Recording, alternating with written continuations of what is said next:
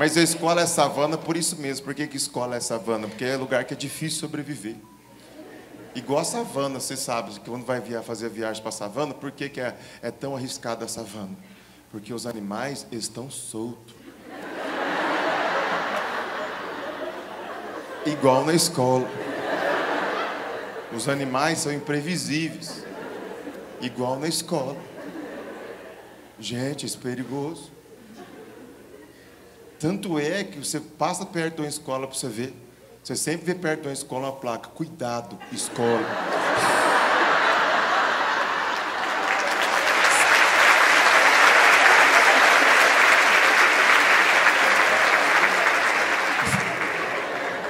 Não entre. Entendeu?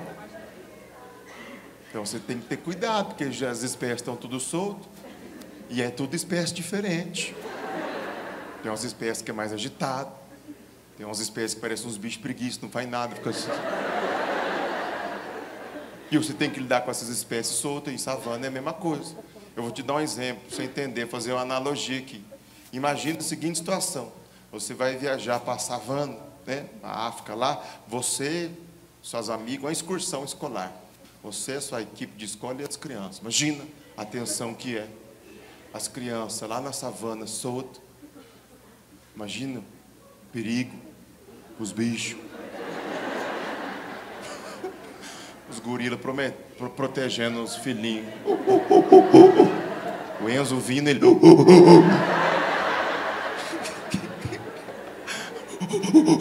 Imagina. As crianças tudo doidas, você querendo orientar as crianças, as crianças já saem um para cada lado. Daqui a pouco você vê aquele. Os leão, a criança indo perto. Dependendo da criança, você nem chama de volta.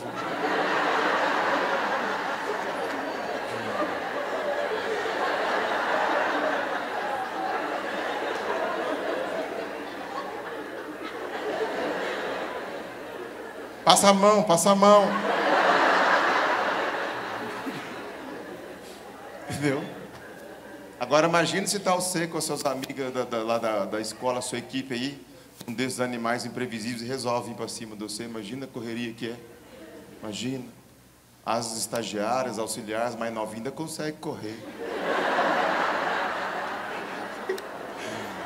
As adaptadas até entender o que está acontecendo.